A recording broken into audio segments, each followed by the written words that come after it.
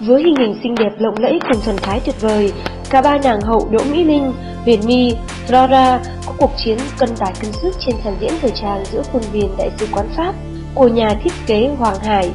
Sâu diễn hoành tráng này như thỏa lòng mong đợi của công chúng dành cho nhà thiết kế Việt tài danh đang đánh dấu một hình ảnh ảnh hưởng của mình trong thời trang quốc tế và trong nước. Mới đây, tại sự kiện show thời trang D Hà Nội à Paris của nhà thiết kế Hoàng Hải, được nhiều khán giả trông đợi đã được diễn ra tại Đại sứ quán Pháp tại Hà Nội. Sự kiện thời trang này thu hút sự chú ý đông đảo của nhiều nghệ sĩ, cô làng giải trí cùng những khách mời đặc biệt.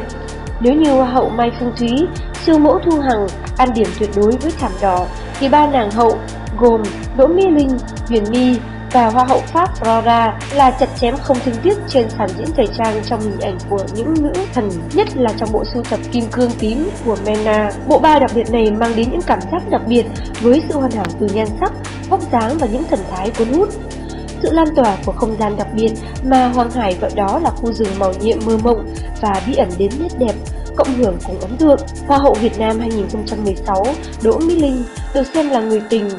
mới của Hoàng Hải, đồng hành xuyên suốt cùng anh trong dự án D Hà Nội à Brazil, đồng hành xuyên suốt cùng anh trong dự án D Hà Nội à Paris lần này. Mỹ Linh ngày càng khẳng định nhan sắc mặn mà kể từ khi đăng quang, vẻ đẹp mong manh của cô